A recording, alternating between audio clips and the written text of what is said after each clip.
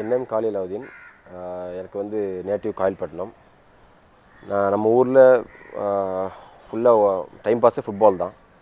சின்ன வயசுலேருந்து நம்ம ஃபுட்பால் அங்கே சின்ன வயசு நம்ம இருக்கும்போது ஃபுட்பால் பார்த்துருக்கலாம் நமக்கும் ஃபுட்பால் பிளே விளாடணும் ஆசை இருந்துச்சு ப்ளஸ் நான் வந்து எல்கே ஸ்கூலில் படித்தேன் காயல்பட்டினம் எல்கே ஹையர் செகண்டரி ஸ்கூலில் நான் அங்கே படிக்கும்போது எயித் நைன்த் படிக்கும்போது ஃபுட்பால் ஸ்டார்ட் பண்ணேன் ஸ்கூல் டீம் விளாட ஆரம்பித்தேன் டுவெல்த் வரைக்கும்.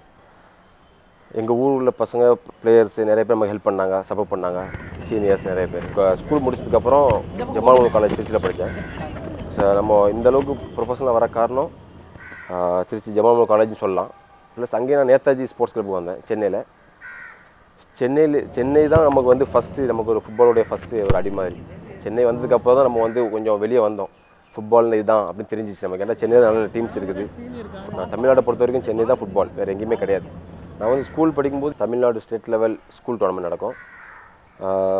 அந்த டோர்னமெண்ட்டில் வந்து நான் படிக்கும்போது ஒரு வருஷம் ரன்னர்ஸ் ஆகணும் லெவன்த்தில் டுவெல்த்தில் வின்னர்ஸ் ஆகணும். அதுவும் எனக்கு நல்ல ப்ளஸ் பாயிண்ட் என்னுடைய கேப்டன்ஷிப் ப்ளஸ்ஸு அந்த டோர்னமெண்ட் வந்து நமக்கு நல்ல அட்வான்டேஜ் ஆயிடுச்சு.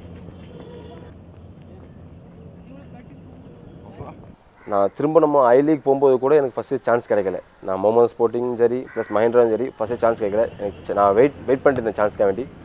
ப்ளஸ் நான் ஹார்ட் ஒர்க் பண்ணிட்டு இருந்தேன். சான்ஸ் கிடச்சி நான் ப்ரூவ் பண்ணேன். அதுக்கப்புறம் எனக்கு கண்டிப்பாக லாஸ்ட் எயிட் நைன் இயர்ஸ் நான் வந்து ஐ லீக்கில் தான் வந்துட்டுருக்கேன் அதுக்கப்புறம் ஐஎஸ்எல் சான்ஸ் கிடச்சிது. நம்ம வந்து ஆனால் ஐஎஸ்எல் நம்ம போக முடியல. ஏன்னா நம்ம டீமில் விட மாட்டேன்னு சொல்லிட்டாங்க ஃபஸ்ட்டு இப்போ இந்த வருஷம் நமக்கு திரும்ப சான்ஸ் கிடச்சிது. ஆனால் எனக்கு இங்கே ஜாப் ஆயிடுச்சு.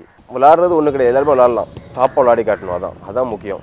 ப்ளஸ் நம்ம அந்த வருஷம் Santosh trophy விளாடணும் plus national games Soundar coach railway Soundar coach கொடுப்பாரு அந்த வருஷம் ரன்னர்ஸு அதுக்கப்புறம் கண்டினியூவாக சொல்லப்போனால் ஐசிஎஃப் துளசி கோச் வந்து நமக்கு சந்தோஷ் ட்ராஃபி இருந்தார்ல கோச் இருந்தாப்புல.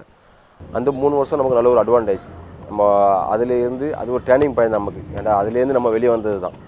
எதாக இருந்தாலும் பழசை மறக்கக்கூடாது அதுலேருந்து நம்ம வெளியே வந்தது தான் நம்ம ஐ லீகு ப்ளஸ்ஸு மற்றதெல்லாம் ஐ லீக்கில் நம்ம போகும்போது கூட ரொம்ப கஷ்ட கஷ்டமாக இருந்துச்சு.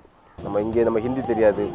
ப்ளஸ் அங்கே உள்ள ப்ராக்டிஸ்லாம் டிஃப்ரெண்ட்டு அது மட்டும் இல்லாமல் அங்கே ஹை லீக்கில் வர்றது எல்லாமே வந்து டாட்டா ஃபுட்பால் அகாடமி அதே பெரிய பெரிய அகாடமிலேருந்து தான் வர்றாங்க. பொதுவாக நார்மலாக ஒரு சின்ன ஊர்லேருந்து ஒரு ஸ்கூல்லேருந்து யாரும் வரதே கிடையாது. இப்போ தமிழ்நாட்டிலேருந்து ஒரு அஞ்சாறு பேர் விளாட்றோம். அஞ்சாறு பேர் எல்லாருமே வந்து சாய் அதுக்கப்புறம் டிஎஃப்ஏ அதுமாதிரி ஸ்போர்ட்ஸ் ஹாஸ்டல் பிளேயர்ஸ் தான். என்ன மாதிரி யாரும் தனியாக ஒரு ஸ்கூல்லேருந்து வந்து வரல யாருமே. எல்லாமே வந்து ஸ்போர்ட்ஸ் ஹாஸ்டல் அதுக்கப்புறம் சாயிலே வந்தவங்க தான். எனக்கு போகும்போது ஃபஸ்ட்டு கொஞ்சம் நர்வஸாக இருந்துச்சு. ப்ராக்டிஸ் கொஞ்சம் கஷ்டமாக இருந்துச்சு. எங்கள் சீனியர் பிளேயர் எல்லாம் எல்லாம் இருப்பாங்க ஃபாரின் பிளேயர்ஸ் அதுக்கப்புறம் அங்குள்ள அட்மாஸ்பியர் எல்லாமே டோட்டலி சேஞ்ச் அங்கே.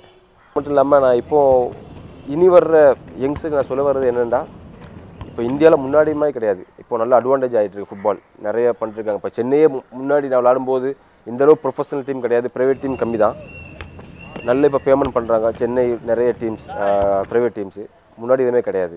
எல்லா டிபார்ட்மெண்ட் டீம் தான் இருந்துச்சு. அப்புறம் இந்த இந்த இப்போ ஐஎஸ்எல் நடந்துகிட்டு இருக்குது ஐஎஸ்எல் ப்ளஸ் ஐ லீக் நல்ல பே பண்ணிட்டுருக்காங்க.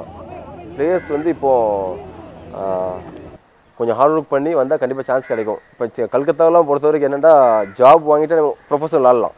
கல்கத்தா மும்பை அந்த பக்கம்லாம் வந்து ஜாப் வாங்கிட்டு விளாட்லாம். ஆனால் தமிழ்நாட்டில் அந்த அந்த ஸ்கீம் கிடையாது. இருந்தால் நல்லா இருக்கும். நம்மளும் போய் விளையாடிக்கலாம். சான்ஸ் இப்போ இல்லாமல் போயிடுச்சு.